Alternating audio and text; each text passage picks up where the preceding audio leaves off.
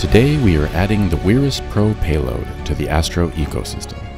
It packs a radiometric thermal sensor capable of gathering data from negative 25 degrees Celsius to 150 degrees Celsius while simultaneously switching to the full HD RGB camera with a 10 times zoom.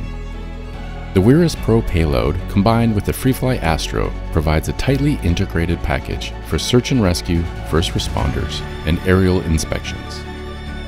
Like all FreeFly products, the gimbal is designed and built here in Woodinville, Washington, where we spend countless hours testing and improving. If you would like to learn more, visit our website freeflysystems.com.